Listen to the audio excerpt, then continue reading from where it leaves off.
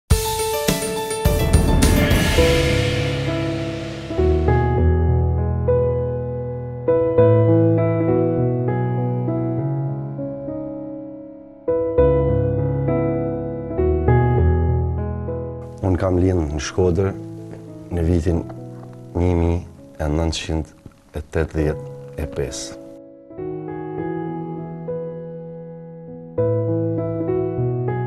Gëzimi ishte i madh, mas një vajzë, një djalë, fillun shikonin diçka që ishte pak e, e sikletshme. Unë nuk flisja dhe për gjatë katër viteve kishim ngel pa zgjidh dhe askush nuk po jepte përgjigje.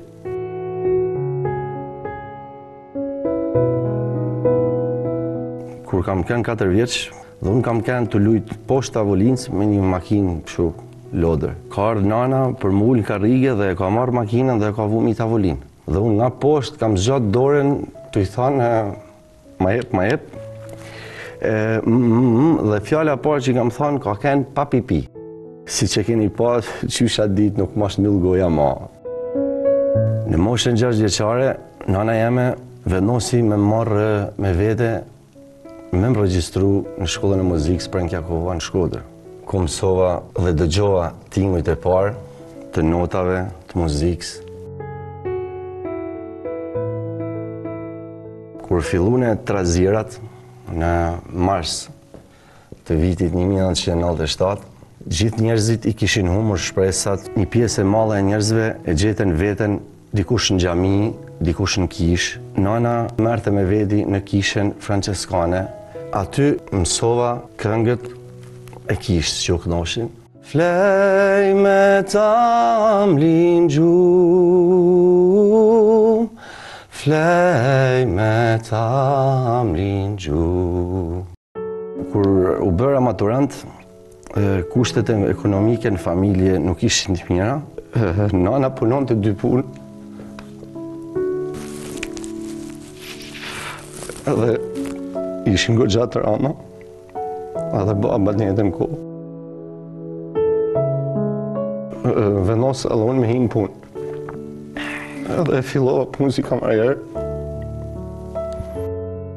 Kur laja gotat, knosha muzikë që ishte në radio. Më thot një shok, Luiz, kanë ardhë Ethet në Shkodër, më thot.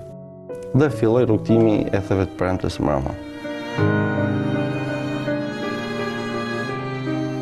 Dola fitues në fund dhe ishte një knaqësi e jashtëzakonshme për festivalin e fundvitit. Zura vend të parë me këngën Zjarr e ftohtë.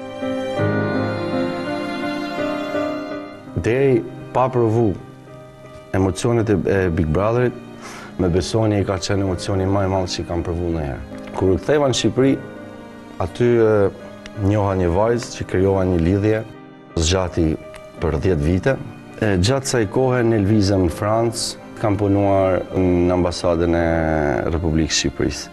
E dija që po lija diçka shumë të madhe që e kisha kriju, por hoqa dorë se mendova se rruga që po marr, me personin që po marr, ka shumë ma rëndësi se sa kjo që po lë. Në një farë mënyre u dorëzova, Para saj, nuk arriti kurrë të më kuptonte dëshirat e vërteta që unë kisha, andrrën teme, U kthyem në Shqipëri, fillova punë profesion si noter në Tiranë. Nga kthimi filluan ato momentet e ftohjes mes, mes meje dhe asaj, për një zënkë momentale, vendosëm t'i japim fund. E mbaj mend atë natë që kam dalë nga shtëpia, kam pas vetëm makinën, Ka qenë tu ra shi, kam shtri sedilen dhe kam fjet aty. Kisha dyzet e shtatë mijë lekë të vjetra, në xhep. Dhe absolutisht asgja tjetër.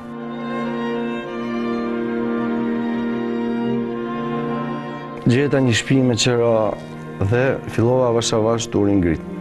Derisa vendosën që të ma hiqnin licencën me pretekstin se e ke marrë në mënyrë të padrejtë dhe ngela prap mes katër rrugëve.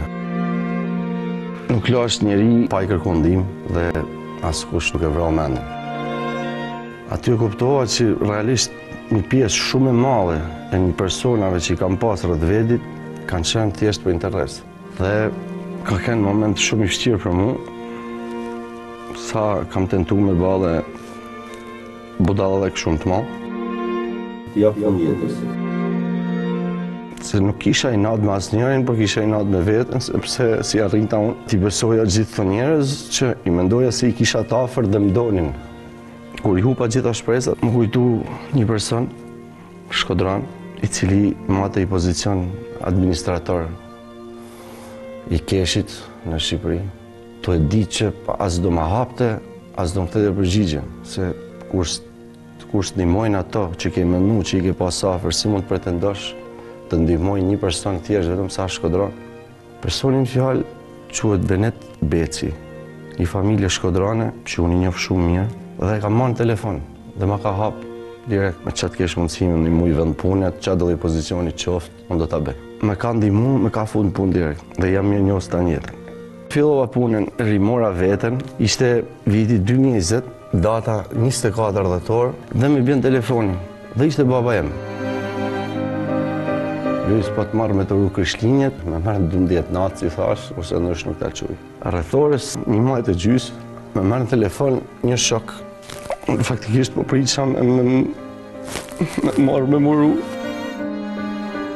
Dhe më marrin me më thanë që ka ndrru jetë.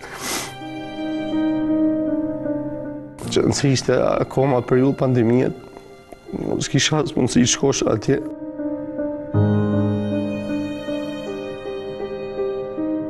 Unë isha vetëm dhe nuk e di ça u ba, as se si ishte nana, as se si po e përjetonte motra, apo mbesat. Jeta po m'u bate akoma dhe ma e vështirë, po më dukte sikur isha tu humb gjithçka.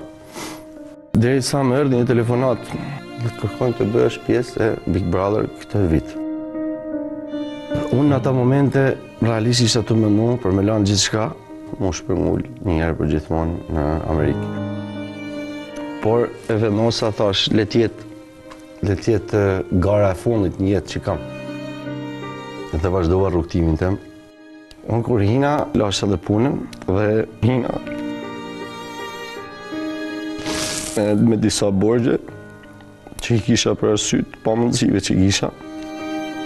Kam arrit me, me perceptu që jashtë ka njerëz që dinë me falë, siç më kanë falë kur, kur isha në momentin ma kritik në këtë lojë, Më kanë dhënë një mundësi dhe tani është momenti që unë të bëj zgjedhjet e duhura, të bëj hapa të sigurt dhe falë atyre njerëzve mbështetës ose jo, unë të vazhdoj të qëndroj në Shqipëri, se unë realisht unë e dashuroj këtë vend. Atyre njerëzve që Nuk besun te unë, që më paragjykun, që ma kthyen shpinën, mund t'i them që këto lot nuk janë për ju, janë të gjitha për, për zgjedhjet e gabuara që unë kam ba. I them vetëm, unë jam këtu, ju po më shikoni nga shpia, duhet t'jua them vetëm që ja, ia dola, sinqerisht.